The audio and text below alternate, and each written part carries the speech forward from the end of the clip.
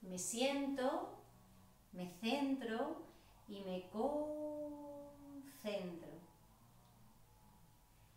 Para adultos, para pequeños, para niños, para todos los que necesitéis en algún momento descender la energía cuando estamos muy inquietos, cuando tenemos nervio por dentro, cuando no somos capaces de concentrarnos en algo, para los niños, cuando tengo que hacer deberes y no tengo ganas y ando de un lado para otro, o cuando quiero hacer un bonito dibujo pero no acabo de saber exactamente qué quiero hacer, para los mayores, cuando me tengo que poner a hacer una tarea y necesito concentración.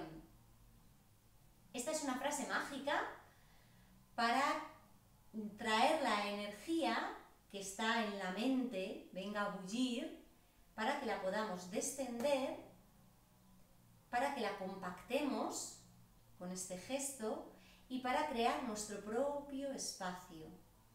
Cuando me siento, cuando digo me siento, creo una raíz hacia la tierra, asiento mi energía.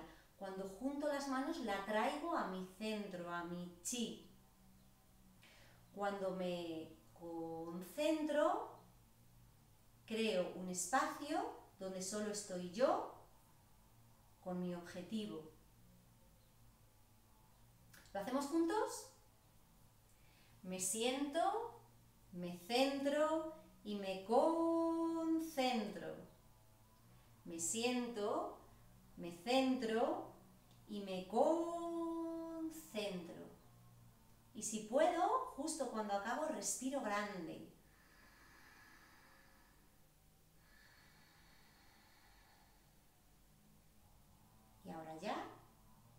Hacer lo que quería hacer. Acordaos de esta frase y de estos gestos que acompañan a la frase. A los niños se la podéis enseñar, pero a veces no es necesario enseñársela como tal. La hacéis vosotros en casa cuando os pongáis a hacer alguna cosa, ellos os ven y se quedan con lo que hacéis. Si queréis, lo podéis invitar. ¿Quieres hacerlo conmigo? Y ellos eligen si la quieren hacer o no la quieren hacer. Pero a menudo cuando nos ven hacer algo es cuando después ellos lo imitan, siempre sin imposiciones. Hay otra forma también de ayudarnos a descender esa energía, esa inquietud que podemos tener algunos días. Necesitamos a alguien que venga desde atrás y con dos deditos nos presione dos puntos que tenemos entre el hombro, la línea que va del hombro al cuello.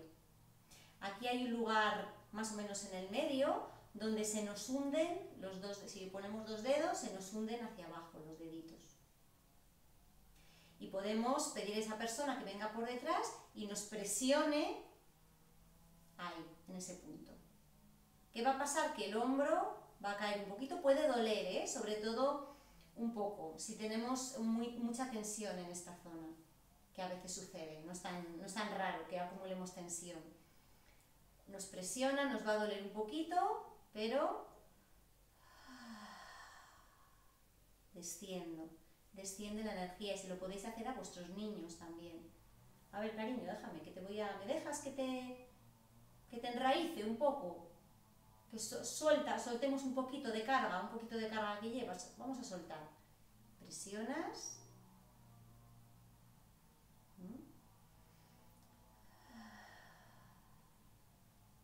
Se descarga y asientas. ¿De acuerdo? También es otra forma con la que os podéis ayudar. Es importante que si os sentáis a una mesa, los pies estén apoyados en el suelo. Los pies, si los pies de los niños quedan colgando, que muchas veces pasa, eh, es más difícil lograr esa concentración, porque no tenemos un anclaje a la tierra desde las plantas de los pies. Entonces es más fácil que la mente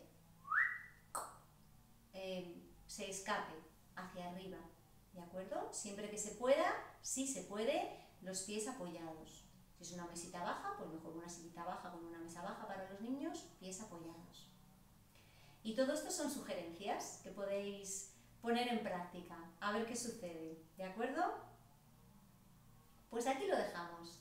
Me siento, Me centro y me concentro.